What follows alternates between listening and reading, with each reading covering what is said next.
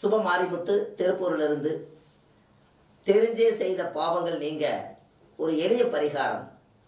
செய்த பாவத்திற்கு நம்ம முன்னோர்கள் செய்யாத பாவத்திற்கெல்லாம் அந்த பாவ கணக்கில் நிறைய சேர்ந்திருந்தா ஒரு பரிகாரம்.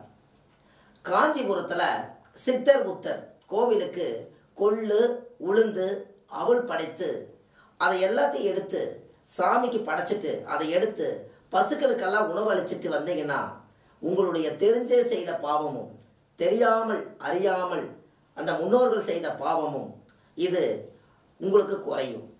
தர்மங்கள் செய்ய செய்ய கர்மங்கள் குறையுமா? தீரும்னு எந்த புக்கடி இல்லை.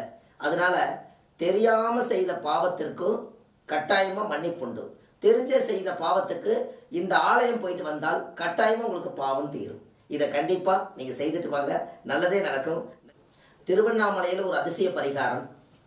திருவண்ணாமலையில் சதுர்த்தி திதி அன்று திருவண்ணாமலையில் இருக்கக்கூடிய கிரிவலம் சுற்றி அந்த பாதையில் நீங்கள் மனசார நீங்கள் வந்து ஓம் நமச்சிவாயா கிரிவலம் வந்து சதுர்த்தி திதி அன்றைக்கு ஓம் நமச்சிவாயா ஆயிரத்தி எட்டு மந்திரத்தை உங்கள் வாயார உச்சாரணம் செஞ்சு நீங்கள் வழிபாடு பண்ணிட்டு வந்தீங்கன்னு சொன்னால் அரசாங்க வேலை உங்களுக்கு கட்டாயம் கிடைக்கும். யாரெல்லாம் அரசாங்க வேலைக்கு முயற்சி பண்ணுறீங்களோ அவங்க இதை ஒரு முறை நீங்கள் செஞ்சுட்டு வாங்க.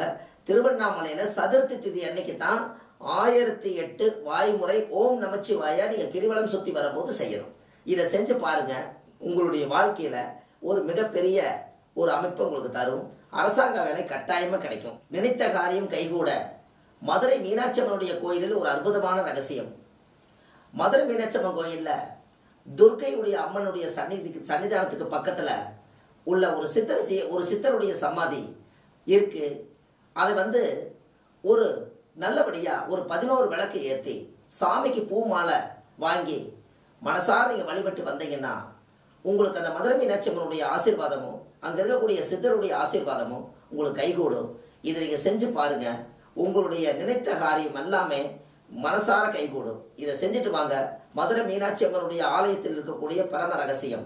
இதை கட்டாயமாக நீங்கள் செய்துட்டு வாங்க. உங்கள் வாழ்க்கை வளம் பெறும். சுகப்பிரசவம் ஆக ஒரு எளிய பரிகாரம். திருச்சி மாவட்டத்தில் திருச்சியில் மலைக்கோட்டையில் தாய் மாணவருடைய சன்னதி மேலே இருக்குது அந்த கோயிலில் ஒரு நேர்த்திக்கடன் வச்சு நல்லபடியாக எனக்கு கரு உருவாயிருச்சு எனக்கு சுகப்பிரசவமாக எனக்கு பிறக்கணும்னு சொல்லி நீங்கள் சாமியை கும்பிட்டு மனசார தாய் மாணவரை போய் கரு உருவானி அந்த கரு உருவான டேட்டில் அந்த சாமிக்கு நீங்கள் ஒரு அர்ச்சனை பண்ணி சாமி கும்பிட்டு வந்துட்டால் பிறக்கும் குழந்தை சுகப்பிரசவமாக பிறக்கும். இது கட்டாயமாக ஒவ்வொருத்தரும் நீங்கள் செஞ்சுட்டு வாங்க. சுகப்பிரசவத்துக்குன்னே இந்த தாய் மாணவர் கோயில் தாயாக ஆக வேண்டிய உறவு தாயாயிருவீங்க. குழந்தை பிறந்தால் தாயாயிருவீங்கறதுக்காகத்தான் ஆதி காலத்திலேயே கரு உருவானோன்னே தாயாக போறீங்கிறதுக்காகத்தான் தாய் மாணவர் என்று பொருள். கண்டிப்பாக இந்த கோயிலுக்கு நீங்கள் போய் சாமி கும்பிட்டு வாங்க. உங்களுடைய வாழ்க்கை மிகப்பெரிய ஒரு சக்தியை உருவாக்கும். நல்லதே நடக்கும். நன்றி